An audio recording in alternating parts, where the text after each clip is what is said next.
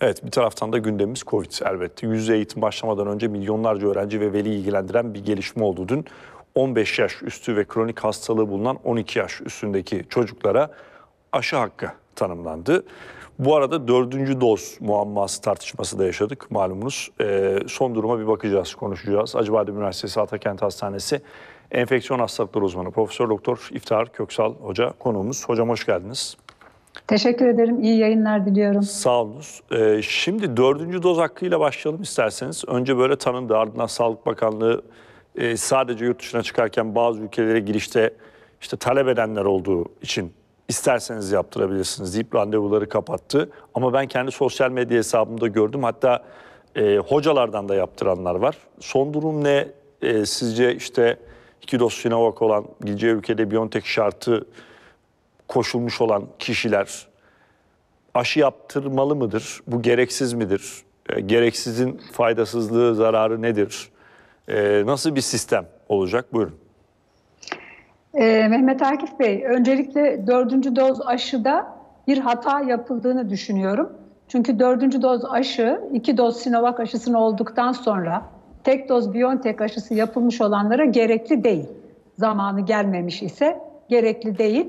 Ee, çünkü biliyoruz ki Türkiye'de e, Sinovac aşısının faz çalışması da yürütüldü. Oldukça fazla sayıda e, vaka katılımıyla ve dünyanın en saygın tıp dergilerinden biri olan Lancet'te de yayınlandı. Hı hı. Şimdi orada aşının e, koruyuculuk oranlarını biliyoruz. Oldukça yüksek e, durumda. E, ama antikor kalış süresinin kısa olması nedeniyle pekiştirme dozunun yapılması gerekiyordu. Bunu da e, üçüncü doz aşı hakkı verildiği zaman şöyle bir açıklama geldi. E, isteyenler BioNTech, isteyenler Sinovac üçüncü doz aşılarını yani pekiştirme dozlarını yaptırabilirler. Son derece mantıklı, bilimsel olarak açıklanabilecek bir yaklaşım. Ancak dördüncü dozla ilgili herhangi bir bilimsel kanıt ve veri yok. E, çünkü üzerinden henüz bir yıl geçmedi bütün bu uygulamaların. E, o nedenle zaten dördüncü doza da muhtemelen bir hata yapılmıştı, geri çekildi. Şimdi dördüncü dozun uygulanması çok özel durumlara ait bir uygulama olmalıdır. Bu da herhangi bir şekilde bağışıklık sistemini baskılayan ilaç kullanımı, bağışıklık sistemini baskılayan herhangi bir hastalık olma durumu gibi faktörlerin varlığında ancak dördüncü doz aşı önerilir.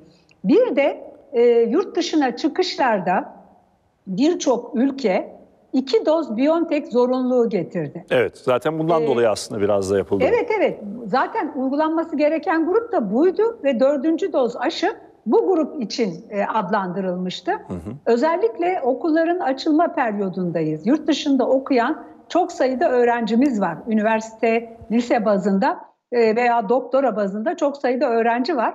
Bunların o ülkelere girebilmesi için zorunlu tutulduğundan dolayı dördüncü doz önerildi. Ki ben bunun da çok doğru olmadığını düşünüyorum. Çünkü Dünya Sağlık Örgütü'nün açıklamasında hangi aşı olursa olsun iki doz aşı yaptırmış olanların e, koruyucu olduğuna dair e, bu şekilde aşılar arasında bir ayrım yapılmamasına dair ciddi bildirimler var. Peki Aa, ne yapılacak? Keşke yani onun bu, da mücadelesini bu... verseydik. Heh. İki doz Sinovac aşısını olmuş, bir doz BioNTech olmuş olan çocuklarımız da rahat bir şekilde yurt dışına gidebilirlerdi. Bunu bilimsel olarak anlatmamız gerekirdi. Ama sanırım yeterli zaman olmadığı için dördüncü doz aşıyı yapmak daha kolaya geldiği için böyle bir uygulama yapıldı. Peki, bunun başka bir bunun, izahı yok. Anladım. Bunun hiç faydası yok. Ee, bilimsel bir tarafı da yok. Ee, evet. Yani deyim yerindeyse işte Avrupa'da bir ülkeye girebilmek için fazladan kolunuza gereksiz yere bir şey enjekte ettiriyorsunuz. Kesinlikle, kesinlikle. Zararı nedir? Yani zararına Aa, dair bir şey bir zararı yok ama şunu ifade edeyim. Bizim gerçek yaşamdan örnek vereceğim e, hastalarda gözlemlediğimiz eğer antikor düzeyleri çok yüksekse dördüncü doz veya ben biz dördüncüyü yapmıyoruz. Örneğin bir kişi hastalığı geçirdi. Hı hı. E, üzerinde üçüncü doz, şey, ikinci hastalık sonrası tek doz aşısını yaptıracak.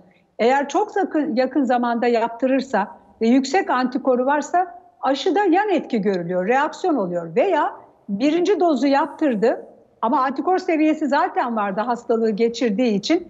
ikinci dozu yaptırdığında da yan etki çıkıyor. Nasıl bir yan etki çıkıyor? Ee, bu da yüksek ateş, halsizlik, kırgınlık gibi. Yani vücutta fazla miktarda silah olduğu için, antikor düzeyleri yüksek olduğu için giren antijene karşı çok şiddetli bir tepki veriyor.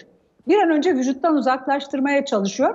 Bu da karşımıza e, yüksek ateş, halsizlik, e, adeta hafif bir COVID belirtisi gibi belirtilerle çıkıyor. Yoksa hayatı tehdit eden çok ciddi, ölümcül bir yan etkisi yok. Ama şu da var, aşıları e, ranitable kullanmak lazım. Yani aşılar çok kolay ulaşılan ürünler değiller. Yarın aşı yoksunluğu yaşamamak için elimizdeki aşıları da düzgün kullanmamız lazım. Yani aşı bolluğu e, olmaması lazım. Hocam, Aşılanmamış hala birçok insan var. Onların aşılanması gerekir öncelikle. e, bir şey soracağım. Hiç Biontech kullanmayan, Johnson Johnson, AstraZeneca ya da bu aşıları kullanmayan ülkeler var. Evet. Onlar vatandaşları, o ülkelerin vatandaşları Avrupa'ya, Amerika'ya seyahat nasıl ediyorlar? Ee, onların nasıl ettiğini bilmiyorum ama mutlaka Biontech yapacaksınız diye bir zorunluluk olmadığını biliyorum. Sanırım Yani bu bize mi bize mi söyleniyor sadece mutlaka Biontech yapın yoksa gelemezsiniz diye? Yani orada bir yanlış algılama da olmuş olabilir. Kişinin şöyle birçok ülkenin yaptığı antikorunuzu belgeleyebiliyorsanız, hastalığı geçirmiş olduğunuzu belgeleyebiliyorsanız, Covid PCR'ınızın negatif olduğunu belgeleyebiliyorsanız rahatlıkla girebiliyorsunuz. Aa, Onu bu uygulamayı yapanlara belki dış işleriyle ilgili dış işlerinin sağlıkla ilgili birimine sormak lazım. Neye dayanarak bu şekilde bir uygulama yapıyorlar? Ee, sizin de belirttiğiniz gibi diğer ülkeleri de örnek alıyorlar mı? Çünkü o ülkelerde böyle bir zorunluluk olmadığını biliyorum. Ee, hani onların vatandaşları mı bizimkilerin gittiği ülkelere gitmiyor? Ya böyle şey bakarsanız tabii Çinlerin hiçbir yere seyahat Biliyorlar. etmemesi lazım. Yani ne Batı ülkelerine ne. Amerika'ya. Kesinlikle.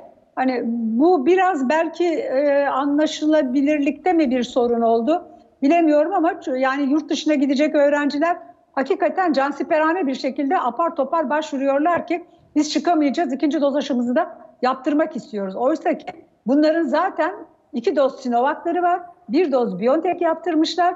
E, yani bir doz daha BioNTech bilimle bağdaşmıyor.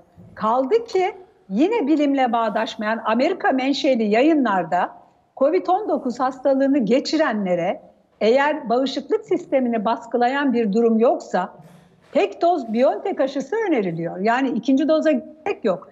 E o zaman bizim vatandaşımız mı bunu uyguluyor diye de sormak lazım. Sanırım orada bir anlaşılabilirlikte bir problem yaşanıyor diye düşünüyorum. Bunu tabii ki dışişleri büyükelçiliklerle konuşarak aydınlatması gerektiğini düşünüyorum. Evet, bunun belki e, siyaseten çözülmesi gereken bir mesele. Kesinlikle. Bu Covid geçirenler için tek doz dediniz. Dün de konuşmuştuk bunu. Hocalar ikinci dozu mutlaka olsun demişlerdi. E, o kafa karışıklığını ne yapacağız hocam? Zafer Şimdi Kurugöl şu- ve Mehmet Ceyhan var dün yayınımda. Evet. Ee, ikinci dozun yapılmasının esprisi delta varyantından dolayı önerilmekte. Ama a, Peru'da lambda mutasyonunun giderek arttığına dair dün e, yayınlanmış saygın bir dergide bilimsel makale var. Yani şimdi bunun sonu yok. O nedenle ben hastalığı geçirmiş olanların e, iki doz aşı yaptırmaları gerekmediğini düşünenlerdenim. Çünkü bilimsel gerçekler de bunu e, doğruluyor. Çünkü zaten bir enfeksiyon hastalığını geçirdiğiniz zaman e, bizim bağışıklık hücrelerimizde, immün bellek dediğimiz hafıza hücrelerimizde o hastalığa karşı antikorlar hazır olda bekliyor. E, yeniden bir aşı yapıldığı zaman zaten bunu pekiştiriyoruz. Hatta o aşının ne zaman yapılması gerektiği konusunda da bir fikir birlikteliği olmadığını söyleyeyim. Kimisi 3 ay diyor, kimisi 6 ay diyor, kimisi 18 ay diyor. Çünkü ülkelerden farklı çalışmalar var ve antikor düzeylerine bakıldığı zaman da koruyucu antikorların bazı ülkelerde 18 ay, bazı ülkelerde 12 ay koruduğu şeklinde e, yayınlar var. Bunlar çok ciddi dergilerde yayınlanmış veriler. Ve hakikaten şimdiye kadar Covid öncesi dönemdeki bilimsel e, gerçeklerle de örtüşen bilgiler bunlar. O nedenle bu işin sonu yok. Yani mantıklı olmak ve bilimsel çalışmalarla bu yaptığımız işin de doğrulanması gerekir. o yüzden de işte aşıyla ilgili yerinde- hep kafalar karışıyor. Yani Aynen öyle. Dünyanın hiçbir yerinde bizde yapılan saatlik, günlük, haftalık değişen uygulamalar yok. Çünkü insanlar periyodik olarak ellerindeki bilimsel verileri hasta havuzlarından elde ederek e, uygulamalarını ona göre düzenliyorlar. Hangi yayını okursanız okuyun, çok iyi dergilerde yayınlanmış yazılarda aynen en son dibinde şunu yazar. Bu söylediklerimizden sonraki gelişmeler bizim bu paylaştığımız bilgileri değişmesine yol açabilir. Bakın ne kadar esnek bir yaklaşım. Çünkü e, her gün yeni bir şey öğreniyoruz. O zaman biz Türkiye olarak dünyada Sinovac aşısını uyguladıktan sonra bir de üzerine birinci doz ardından ikinci dozu öneren tek ülkeyiz. O zaman şimdiye kadar yaptığımız uygulamaların sonuçlarını bir analiz edelim ve açıklayalım. Ne Peki. oldu da dördüncü doza gerek kaldı? Ne oldu da hastalık geçirildikten sonra ikinci doza ihtiyaç oldu? Bunları bilimsel verilerle değerlendirerek e, hayata geçirmemiz gerekir. İftar Köksal çok teşekkür ederiz katkılarınız için. Sağ olun efendim. Biz Teşekkür noktalayacağız manşeti. Yayınımız yolun başındayken programıyla devam edecek. Birazdan Görkem İlaç karşınızda olacak. Saat başında da yeniden buluşacağız. Görüşmek dileğiyle. Hoşçakalın.